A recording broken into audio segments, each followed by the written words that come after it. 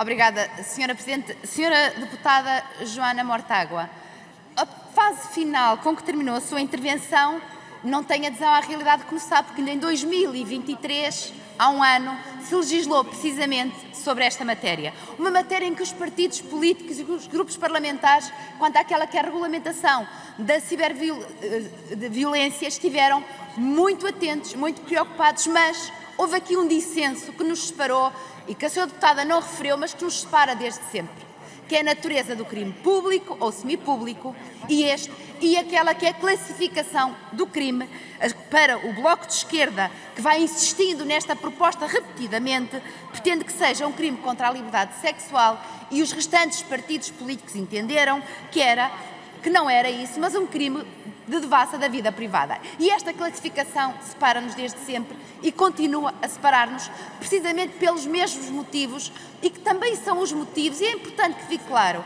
apontados pelo Conselho Superior de Magistratura e, e por aqueles são os pareceres que nos foram fornecidos a quando dessa legislação, porque desta vez não houve tempo, como sabe.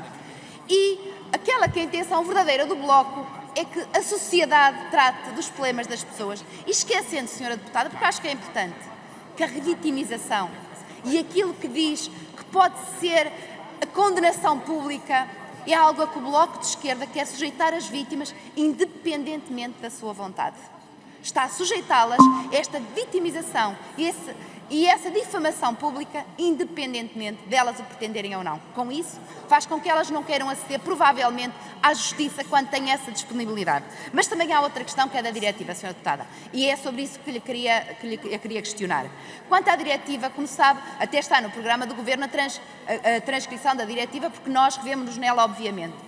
O que não conseguimos entender é estas medidas ad hoc a cada momento vai-se acrescentando aqui e acolá, sem uma lógica de sistema, e pergunto se não estão dispostos a retirar para que legislemos como deve ser, com sistema e através da transcrição efetiva da diretiva.